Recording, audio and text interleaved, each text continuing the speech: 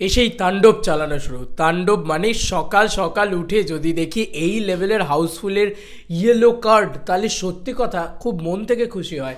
তাও আবার কলকাতার বুকের একটা সিঙ্গেল স্ক্রিনের ভিতরে।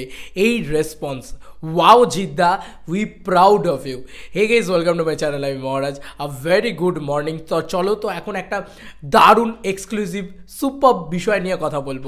বন্ধুরা অলরেডি অলরেডি সকাল সকাল বারোটার শো হাউসফুলের পথে। ইয়েস মানুষ হাউসফুলের পথে। অলরেডি জিদ্দা এসেই আচমকাই কাঁপাবে ভারতবর্ষ, গোটা ভারতবর্ষ কাঁপিয়ে দিল বলা যেতে পারে। কেন? কারণ দেখো, আমি অনেস্টলি বলছি ভাই, এই রেসপন্স ফার্স্ট শোয়ের দিকে, প্রায় ওটা ফার্স্ট শোই বলা যেতে পারে। বারোটার সময় চলছে শো এর আগে এগারোটার সময় শো রয়েছে, বিভিন্ন জায়গায় শো রয়েছে আরও বিভিন্ন ইয়ে রয়েছে। সেই শোজগুলোতেও রেসপন্স ঠিকঠাক ভালো। কিন্তু ওই একটা পার্টিকুলার শো ওটাতে ভাই চাঙ্ক অডিয়েন্স গিয়ে পৌঁছচ্ছে।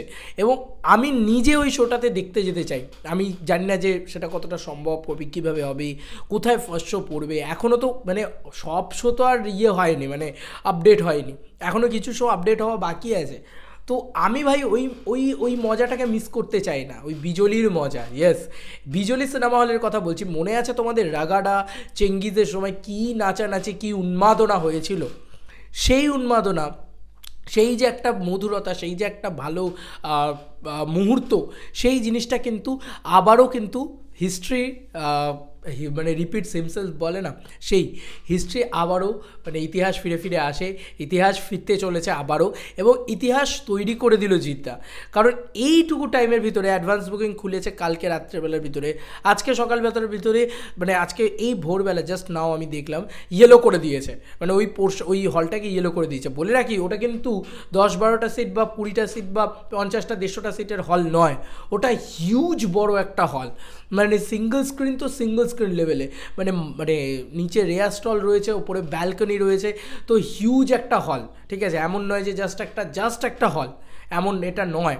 তো ওটা একটা বিরাট বড় সিঙ্গেল স্ক্রিন বিজুয়ালি তো পাবলিক রিয়াকশান দেখলে বুঝতে পারবে। ছয় সাত মিনিটের কমে জাস্ট কেমন লাগল কেমন লাগল জিজ্ঞেস করলেও লোক মানে লোক বেরোতেই থাকে। ছয় সাত মিনিট ধরে পাবলিক রিয়াকশান হয় যে হলের বুঝতেই পারছ যে সেটা কোন লেভেলের বড় হল সেই হলটাকে অলমোস্ট ফুল করে ফেলেছে। গ্যারান্টি গ্যারান্টি ওটাকে হাউসফুল করে ফেলবে।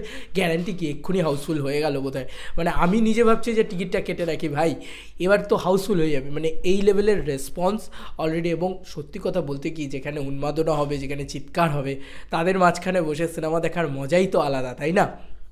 তোমরা জানিও পুরো বিষয়টা এবং অবশ্যই অবশ্যই আমি বলব যে হিউজ ব্যাপার স্যাপার। আর মাত্র একদিন রিলিজ তার মধ্যেখানে এই লেভেলের craze Bijli already almost full housefull আমাদের হুগলিতে রেসপন্স ভালো, সুষমাতে বিশেষ করে রেসপন্স খুব ভালো এবং এ ছাড়া ছাড়াও আমি তোমাদেরকে আরও কয়েকটা জায়গায় বলছি আরও জায়গাগুলোর বৃত্তান্ত বলছি, সেটা হচ্ছে যে সেটা সঙ্গম মাল্টিপ্লেক্স হতে পারে, হরি সিনেমা হতে পারে, একদম প্রত্যন্ত যে গ্রামের যে এরিয়াগুলো বা মফস্বলের যে এরিয়াগুলো, সেখানে কিন্তু দুরন্ত রেসপন্স ভাই। সেখানে আসছে লোকে লিটারেলি যেখানে যেখানে অ্যাডভান্স বুকিং আছে, সেখানে খুলছে, কৃষ্ণনগর থেকে শুরু করে আরও বিভিন্ন জায়গা, দারুণ রেসপন্স তো অলরেডি মানুষ আবারও একটা হিস্ট্রি ক্রিয়েট করতে চলেছে। কারণ এত কম সময়ের ভিতরে আমার মনে হয় না চেঙ্গিজ ওই ইয়েলো কার্ডটা দেখেছিল ইয়ের বিজলির ভিতরে। তো বিজলিতে কিন্তু হু হু করে হাউসফুল হচ্ছে মানে হু হু করে টিকিট সেল হচ্ছে। তো এটা দারুণ বিষয়। তোমাদেরকে আর কি মতামত? সকাল সকাল এরকম একটা খবর পেয়ে অবশ্যই নিচে কমেন্ট সেকশনে জানিয়ে চলো বন্ধুরা নতুন কোনো ভিডিওতে দেখা হবে বাবাই